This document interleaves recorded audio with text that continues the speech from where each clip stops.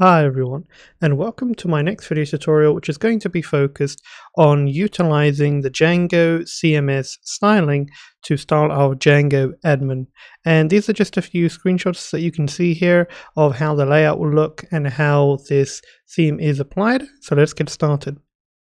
Alright so what we want to do first of all is just ensure you have a simple Django project up and running and once you've got that set, you can go on ahead and install the following library. So I'm going to copy that. And we can go to our terminal. Just want to say pip install Django CMS dash admin dash style. Okay, so let's wait for this to be installed. There we go. And we're good to go.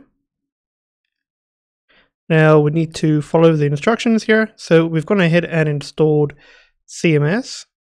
Now we need to add CMS to our list of installed apps.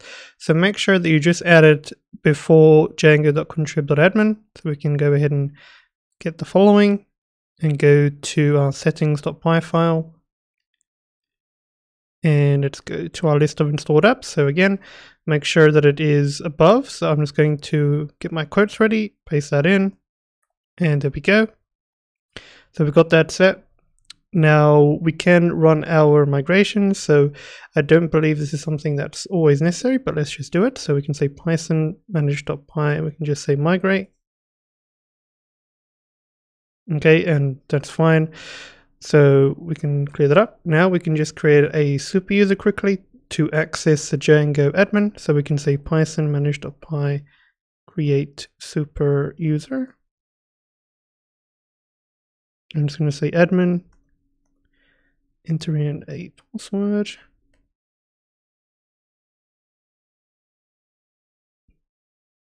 Okay, let's run our server again.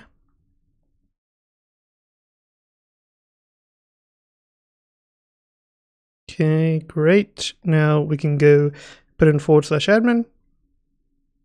And there we have it, Django CMS. So this is quite a unique sort of style that's set up on the admin here. We can see we've got a sort of a nice layout in regards to a nice dark button, a very prominent and dark box here that says Django CMS. So now let's go ahead and enter in our credentials. All right, so once we've entered in our credentials, let's go ahead and log in. And here we are. That is how you can go ahead and set up Django CMS. So let's just have a bit of a run through here with what we are working with.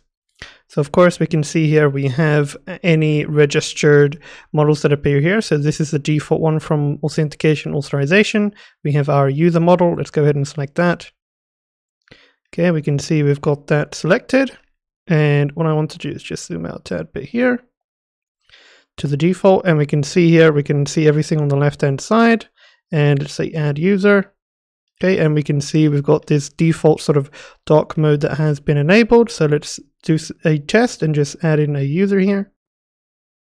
All right, so as soon as you added in your user, you can scroll down. And as you probably saw, we can see we have some information just um, telling us about the password requirements. Let's say save. Okay, get our notification message here. We can also see the history here.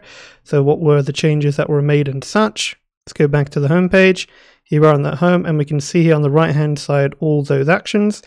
Now let's say you wanted to sign out. You would click here on Django administration here and here you can log out of the admin, change your password of course. And we can see we can do that easily. Let's go back and we can log out here. Or if you want to go to your webpage, you can right click and open that link in a new tab.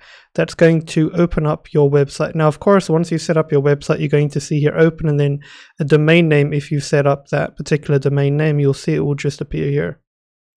Okay, so we have that set. Let's click on it again, log out, takes us to the following page, say login again, and that's going to take us back here to where we were. And something as well, you can see we have a nice highlighted icon here appearing as well.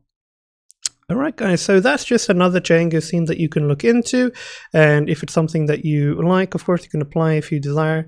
I have of course covered I think just about all of them now I think. But um, yes, anyway guys, um, that's it on this video. As always, thank you for the support and I'll see you next time. Goodbye.